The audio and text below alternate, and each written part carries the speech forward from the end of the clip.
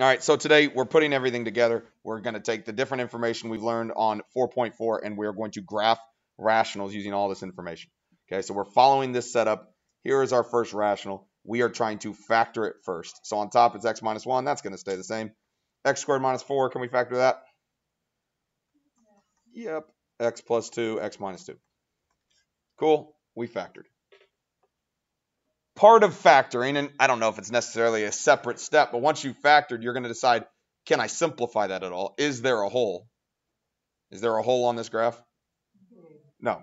Okay, there's nothing that's on top and bottom that's going to work. So there aren't any holes. So on number four, it asks you, find the vertical asymptotes. There's no holes. Okay, there's no holes. We can answer that question right now just on the factoring step. Step three is find the x and y intercepts x intercepts, and we struggled with this a little bit last period. How do I find an x intercept? Yes, we're going to make the y equal to 0. We're going to figure out when this is equal to 0. That's all we did last chapter. We found the roots, we found the x-intercepts, all of that. So I'm going to do this up here just real quick. If I set that thing equal to 0, okay, I'm trying to find the x-intercepts, what do I actually care to be equal to 0? The top or the bottom? The top. Because what's the bottom equal to zero going to tell me? That'll tell me undefined. That'll tell me vertical asymptotes. I want the top equal to zero. Because if I set this equal to zero, the way I would get rid of the x squared minus 4 is I would multiply by x squared minus 4. Well, guess what? It goes away. I don't care about it anyways. And so really, when I find x-intercepts, all I am doing is I am taking the numerator and setting it equal to 0. And so for this one right here, I have an x-intercept at x is equal to 1 eventually our goal is to graph this thing. So once I find information like that, let's put it on my graph. I have an x-intercept at 1. I'm going to make sure I mark that over here. Because I'm trying to graph this whole thing. That's my x-intercept. Next thing I'm going to do is find a y-intercept. What do I do to find a y-intercept? Plug in 0. Because I want to know when x is 0. Because when x is 0, I'm crossing the y-axis. So I'm plugging in 0 for x. So it's 0 minus 1 0 squared minus 4. I get negative 1 over negative 4. So in other words, y equals 1 fourth. That is my y-intercept. So again, on my graph, I'm going to go to where y is 1 fourth. So some yucky dot right in there or so. I'm going to put a little dot. That's my y-intercept. Number four says find vertical asymptotes or holes. We already said there's no holes. Show me with your fingers where the vertical asymptote is going to be. We take the bottom, we set it equal to 0. So I'm going to have vertical asymptotes at x is equal to plus or minus 2. Take the denominator, set it equal to 0, and solve. Plus or minus 2. So I'm going to draw those in. So I'm going to my graph, and I'm going to draw a vertical line at negative 2. It's dashed because it's not actually a part of my graph. It's just a boundary line, negative 2 and positive 2.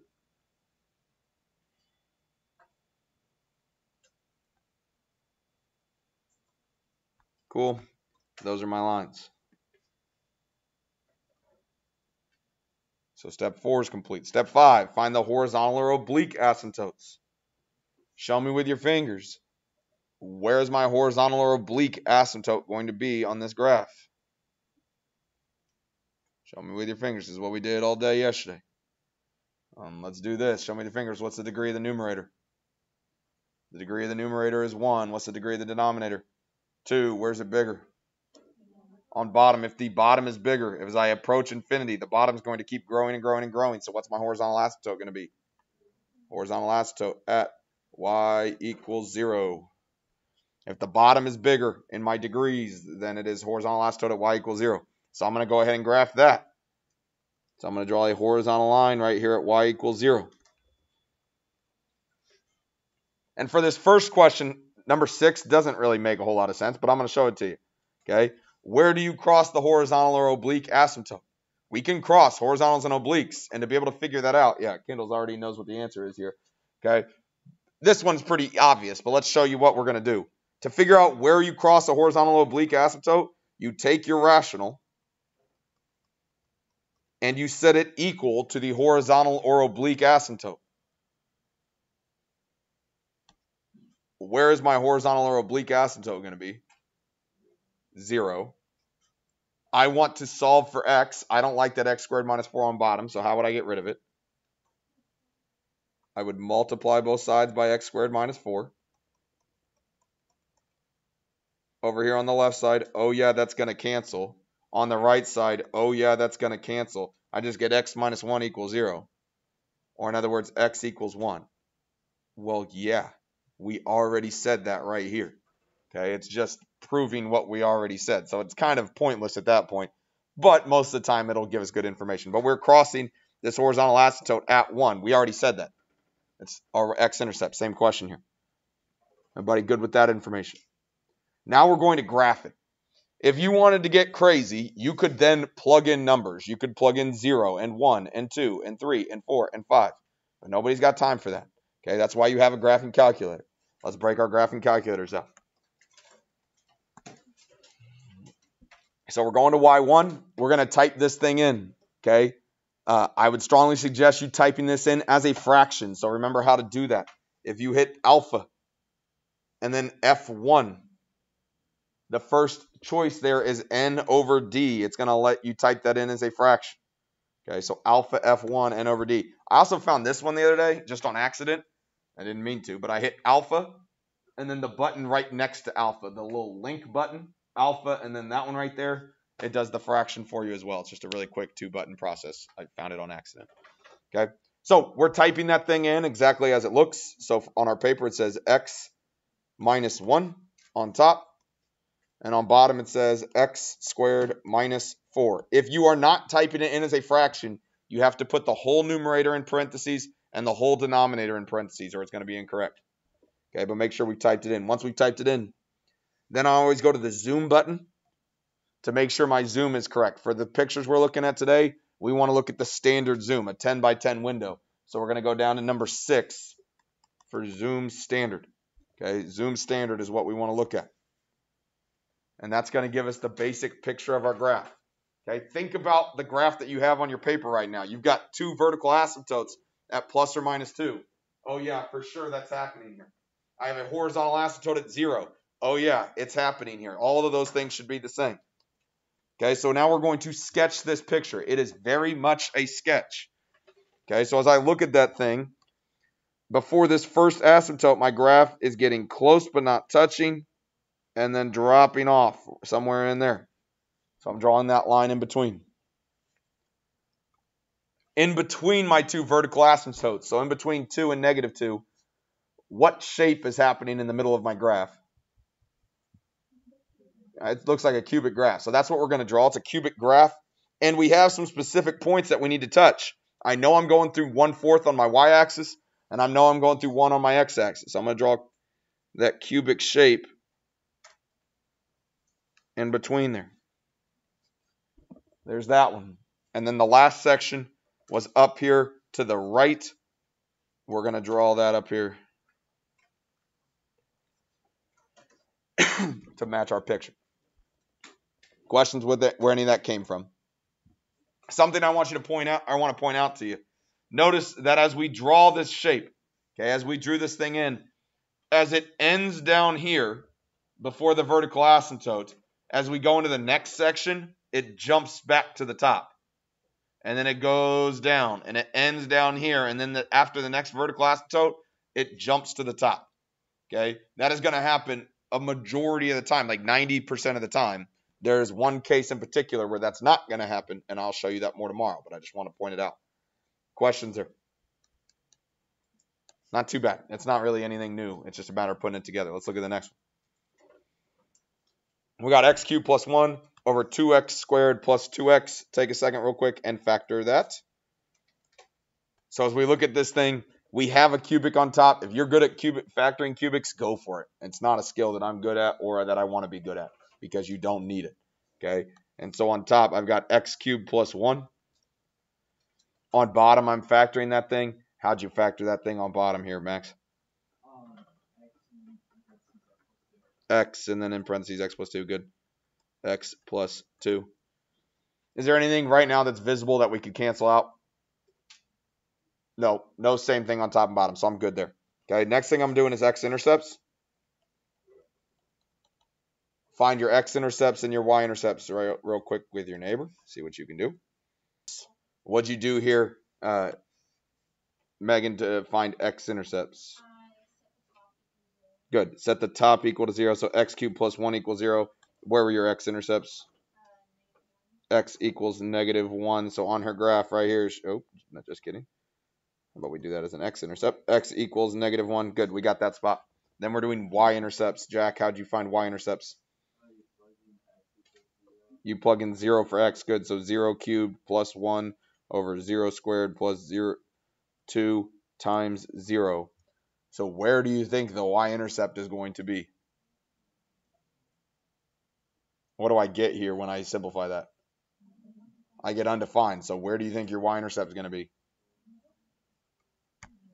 None. There isn't a y-intercept because it's undefined. Why is that true? Let's look at number four. If we're finding vertical asymptotes, show me with your fingers where your vertical asymptote is going to be on this graph. Your vertical asymptotes, you set the bottom equal to 0. Okay, we're setting x equal to 0 and x plus 2 equal to 0. Set the denominator equal to 0. So vertical asymptote at x is equal to 0 and x is equal to negative 2. And so those two ideas go together here. If I have a vertical asymptote at 0, I'm not going to have a y-intercept because I cannot touch or cross a, a vertical asymptote. So I'm not touching the y-axis because there's a vertical asymptote right there. Okay, and then I got another one here at negative 2. That's what's going to split up my graph. Number 5 says find the horizontal or oblique asymptote. Show me the fingers. What's the degree of the top? On top, it's 3. Show me the fingers. What's the degree on bottom? 2. So what type of asymptote am I going to have? Oblique. Can I do synthetic division? No, because it's x squared on bottom. You have to do long division. Take a second with your neighbor and do long division. Go. Here we go. We are doing long division. So on the outside, it's x squared plus 2x. On the inside, it's x cubed, 0x squared, 0x, and then a plus 1. So as I work through this thing, Haley, what do I need to multiply x squared by to get x cubed? x. So she's going to multiply by an x here because x times x squared is going to get her x cubed and then x times 2x is going to get you 2x squared. Haley, what do you need to do next? Change the signs. So we're going to subtract. We're changing the signs. This cancels. This gets me negative 2x squared, and then I got a plus 1 over here.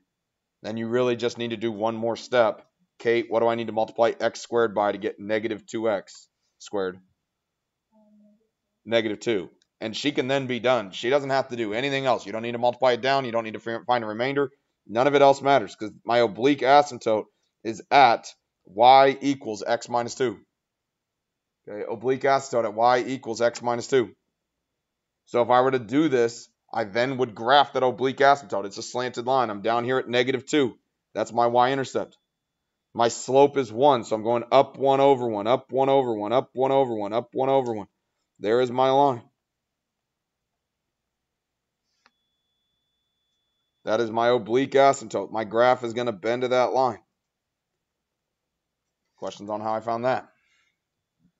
Last step is where do you cross the horizontal or oblique asymptote? So again, to figure out where you cross those lines, you take whatever your rational is. Do not write big here because it's going to take a little bit of space. You take whatever your rational is, and I set it equal to my horizontal or oblique asymptote. So I'm setting it equal to x minus 2. And then it looks ugly. It looks like it's going to be super rough. It's not that bad. You just got to do what we normally would do. I don't like solving fractions, so what am I going to do next? Multiply by the denominator. Multiply by x squared plus 2x on both sides. I don't like this, so I'm going to get rid of it. I'm going to multiply both sides. That's going to cancel. I'm left with x cubed plus 1 equals. On the right side, I need to FOIL. So I'm going to multiply this out. x times x is x cubed plus 2x squared minus 2x squared minus 4x.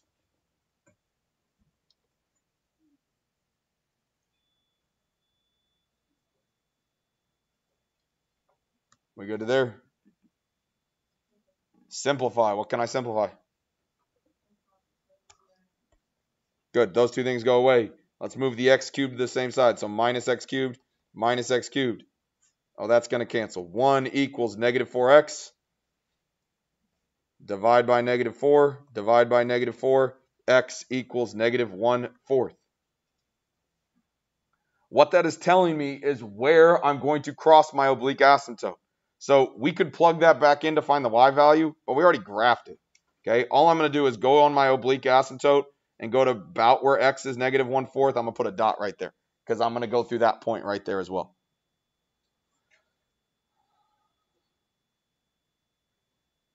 Questions on that one? Let's graph it, see what's happening here. So we go to y equals, we clear that out, get our fraction bar, we're going to type it in. On top, we got x cubed plus 1.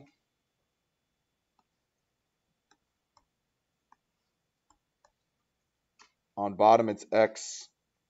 What do we have? x squared plus 2x. x squared plus 2x. Type it in. We're going to hit zoom 6 again, and to just hit the graph button since we already changed our window. There is my picture. It should very much make sense as to what we've already drawn. Okay, it's just filling in the bones of what we got. So down here, I'm getting close to those two asymptote lines. I'm getting close but not crossing them. I'm not crossing the horizontal asymptote there because, or I'm sorry, the oblique asymptote because we found out exactly where we cross it. It's not there. So we're getting close but not touching. Okay, on this section, okay, in between the two verticals, again, I've got kind of that cubic shape. It makes it look like the graph stops. It does not. My calculator is just not very good. Okay, Desmos would give you a better picture. That's why I like it more. But here I'm going to go through those two dots that I have drawn, and I'm going to get close to that line but not touch. And then in this last section, I can see kind of that curve right here. Again, it looks like it stops. It doesn't. My calculator's just not great. It doesn't like being that close to the line. I'm getting close but not touching. There's my graph. Questions on that one? Okay, let's try one more. Flip to the backside. See what you can do on that last one there on the top. Graph. We factored the top, so hopefully you can factor that thing if you can't. Use some bar, bar on payback. I get x minus 2 on top and, on, and 2x minus 1. On bottom, when I factor, I get x plus 2 and x minus 2. Is there anything I can simplify here? What can I simplify? x minus 2. So this and that are going to cancel. If it cancels, what does that tell me?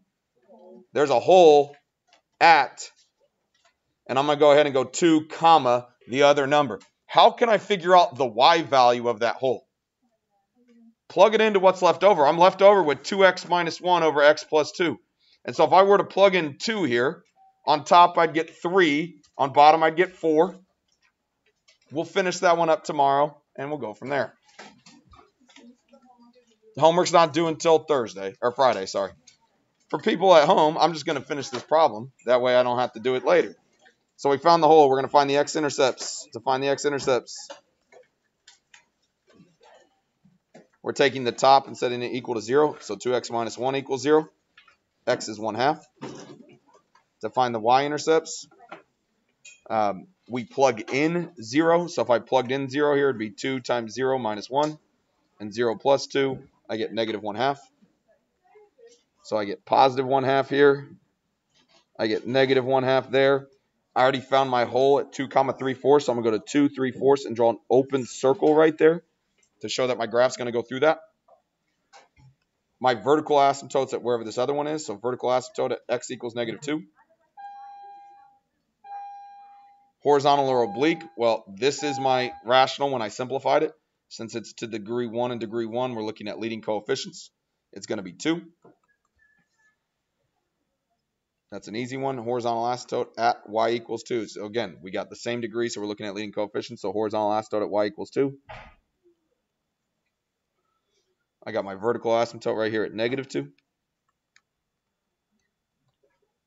Last thing I need to do is decide if I cross the horizontal asymptote or not.